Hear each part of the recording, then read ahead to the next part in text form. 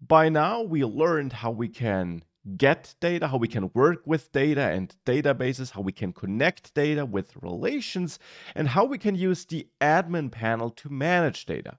The problem is not all data will be managed or generated through that admin panel because that admin panel is really meant for you as the developer, as the owner of this site, not for all your visitors.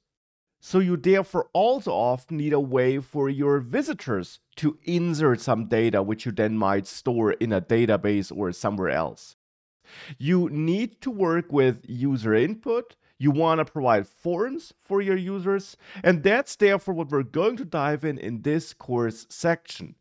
And not directly related to that, but still something I'll also cover in this section will be class-based views. So that in this section, we will learn how we can create and handle forms outside of this admin panel.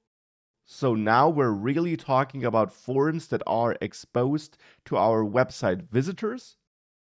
We're also going to have a look at different ways of handling those forms and how we can simplify that form management for us when working with Django.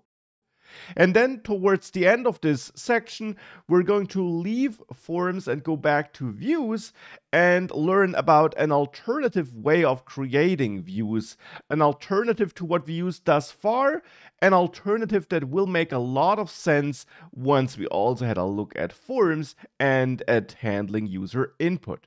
So let's dive right in.